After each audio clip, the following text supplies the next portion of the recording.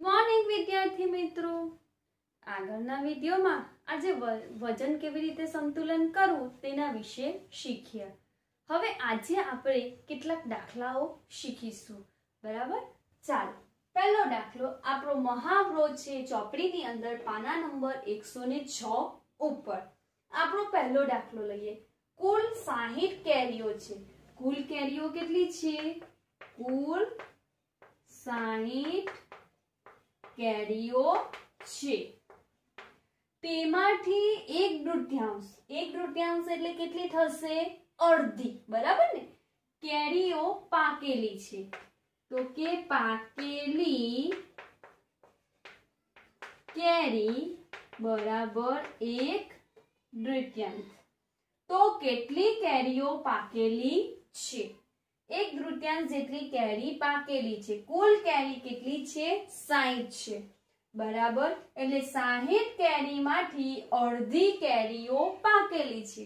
તો સાહીઠ કેરીમાંથી અડધી કેરી પાકેલી હોય, તો આ તો આપણે મૌખિક ગણતરી પણ કરી શકીએ કે સાહીઠ કેરીમાંથી અડધી કેરી પાકેલી હોય, તો કેટલી કેરીઓ થાય? ત્રીસ થાય ને? સાહીઠ ના અડધા કેટલા થશે? ત્રીસ. એટલે કે ત્રીસ કેરીઓ પાકેલી હશે. તો જોઈએ આપણે. બરાબર. એક દ્વિતીયાંશ ગુણ્યા કુલ કેરી કેટલી છે? સાહીઠ. બરાબર ને? એક સાથે સાહીઠ નો શું થશે ગુણાકાર. એટલે કે સાહીઠ એકુ સાહીઠ. અને છેદમાં કેટલા છે? બે. એટલે કે બે સાથે ભાગાકાર. હવે ત્રીસ દુ સાહીઠ. બરાબર? એટલે કેટલા આવ્યા? ત્રીસ કેરી. તો કેટલી કેરીઓ પાકેલી હશે? ત્રીસ કેરીઓ પાકેલી હશે. બીજો દાખલો જોઈએ. કુલ બત્રીસ બાળકો છે. કુલ કેટલા બાળકો છે? બત્રીસ. એટલે કે કુલ બાળકો બરાબર બત્રીસ. તેમાંથી એક દ્વિત્યાંશ છોકરીઓ છે. કેટલી છે? એક દ્વિતીયાંશ. તો કે છોકરીઓની સંખ્યા બરાબર એક દ્વિતીયાંશ, એટલે કે એકના છેદમાં બે. અને એક દ્વિતીયાંશ ને આપણે શું કહીએ છીએ? અડધી. બરાબર ને? અડધી. ત્યારબાદ શું કહે છે કેટલા છોકરાઓ છે? તો કેટલા છોકરાઓ છે? તે આપણે શોધવાના છે. બરાબર? તો આપણને ખબર છે કે છોકરીઓની સંખ્યા કેટલી છે? એક દ્વિતીયાંશ. એક દ્વિત્યાંશ એટલે કેટલી થશે છોકરીઓ? તે આપણે શોધીએ. તો એક દ્વિતીયાંશ ગુણ્યા કુલ બાળકો કેટલા છે? બત્રીસ. બરાબર? એટલે કે સોળ દુ બત્રીસ. બરાબર? સોળ છોકરીઓ. કેટલી થઈ છોકરીઓ? સોળ. એટલે કે સોળ છોકરીઓ હોય તો બીજા અડધા જે બચ્યા તે કેટલા હશે? કેટલા હશે? તો આપણે શું કરવું પડે? છોકરાઓની સંખ્યા સંખ્યા બરાબર. કુલ બાળકો કેટલા છે? કુલ બાળકો માઇનસ છોકરીઓની સંખ્યા. બરાબર? કુલ બાળકો કેટલા છે? બત્રીસ. બત્રીસ માઇનસ છોકરીઓની સંખ્યા કેટલી છે? સોળ. તો બત્રીસમાંથી સોળ જશે તો કેટલા આવશે? સોળ. એટલે છોકરાઓની સંખ્યા પણ કેટલી થઈ? સોળ. છોકરીઓની સંખ્યા પણ સોળ અને છોકરાઓની સંખ્યા પણ સોળ. ચાલો, હવે ત્રીજો દાખલો જોઈએ. કુલ વીસ તારાઓ છે. કેટલા તારાઓ છે? વીસ તારાઓ છે. તેમાંથી ચોથા ભાગના લાલ છે. પહેલા આપણે જોઈએ કે કુલ તારા બરાબર વીસ. તેમાંથી ચોથા ભાગના ચોથા ભાગના એટલે કે એક ચતુર્થાંશ. બરાબર ને? ચોથા ભાગના. એટલે કે એક ચતુર્થાંશ ભાગના તારા કેવા છે? લાલ રંગના છે. કેવા રંગના છે? લાલ રંગના છે. તો કેટલા તારા લાલ છે? બરાબર? તો વીસ તારામાંથી ચોથા ભાગના તારા લાલ રંગના છે. તો કેટલા તારા લાલ રંગના થશે? કેટલા તારા લાલ રંગના નથી? એ બે સંખ્યા આપણે શોધવાની છે. ચોથા ભાગના તારા લાલ છે. બરાબર? હવે કુલ તારા કેટલા છે? વીસ.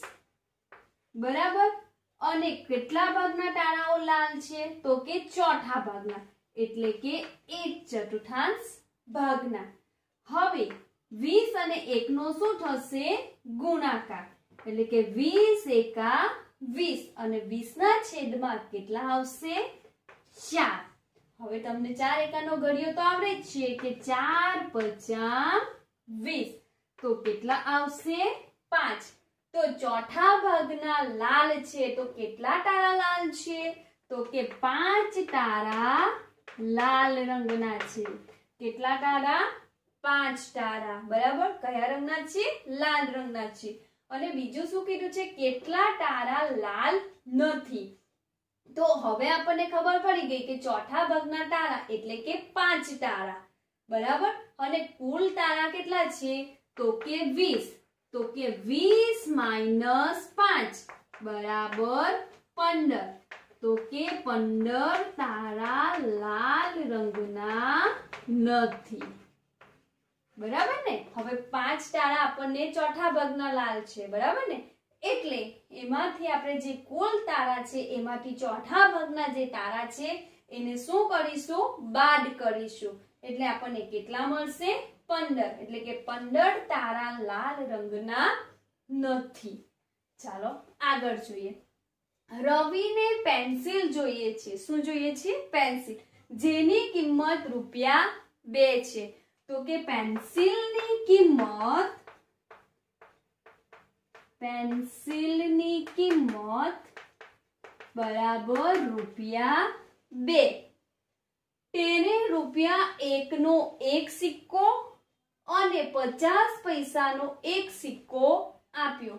શું તે પૂરતું છે? રવિને પેન્સિલ જોઈએ છે. એના કિંમત કેટલી છે? બે રૂપિયા છે. પણ રવિએ દુકાનદારને શું આપ્યું? રૂપિયા એકનો એક સિક્કો અને બીજો પચાસ પૈસાનો સિક્કો આપ્યો. તો શું એટલા પૈસા એ આ પેન્સિલ ખરીદવા માટે પૂરતા છે? તે આપણે શોધવાનું છે. ચાલો તો રવિએ ચૂકવેલ રકમ. રવિએ ચૂકવેલ રકમ બરાબર રૂપિયા એકનો એક સિક્કો. પ્લસ બીજા કેટલા ચૂકવા છે? પચાસ પૈસા. કેટલા? જીરો પોઈન્ટ પચાસ પૈસા. બરાબર ને? રૂપિયા એકનો એક સિક્કો. અને બીજું કેટલા ચૂકવા છે? પચાસ પૈસા. એટલે ટોટલ કેટલા થશે? એક રૂપિયો પચાસ પૈસા થશે.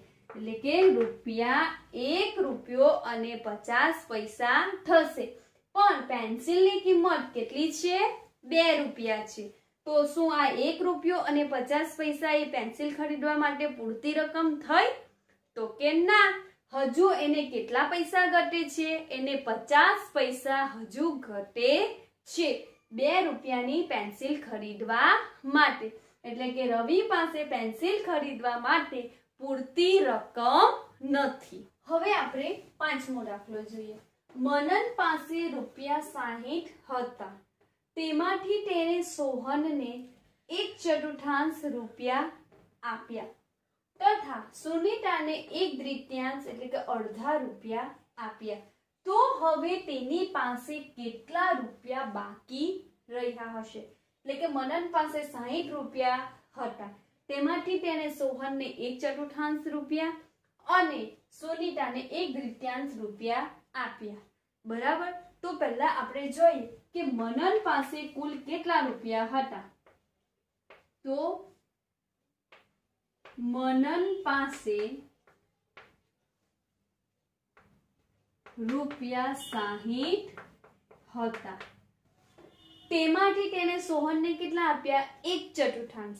હવે મિત્રો યાદ રાખજો, હવે તમે જે એક ચતુર્થાંશ ભાગ કરો છો કે એક દ્વિતીયાંશ ભાગ કરો છો, તે કોનો કરવાનો? જે તમને કિંમત આપેલી હોય એનું. હવે અહીંયા કેટલા રૂપિયા આપ્યા છે? સાહીઠ રૂપિયા. તો તમારે સાહીઠ રૂપિયાના જ એક ચતુર્થાંશ ભાગ અને સાહીઠ રૂપિયાનો જ એક દ્વિત્યાંશ ભાગ કરવાનો છે. અહીંયા ગાડી તમે પચીસ રૂપિયાનો ચોથો ભાગ કે પચાસ રૂપિયાનો ચોથો ભાગ કરી શકો નહીં.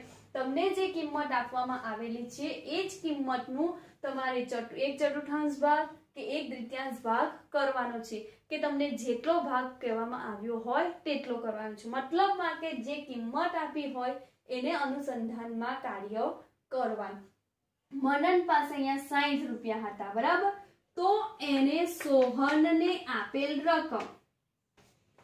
સોહનને આપેલ રકમ, બરાબર, એક ચતુર્થાંશ રૂપિયા. કેટલા આપ્યા છે એક ચતુર્થાંશ રૂપિયા આપ્યા છે. તો હવે આપણે જોઈએ કે એક ચતુર્થાંશ રૂપિયા એટલે કેટલા રૂપિયા આપ્યા હશે? તો બરાબર એક ચતુર્થાંશ ગુણ્યા કેટલા આપ્યા છે? રૂપિયા સાહીઠ. હવે સાહીઠ અને એકનો શું થશે? ગુણાકાર. એટલે કે સાહીઠ એકા સાહીઠ. અને છેદમાં ચાર.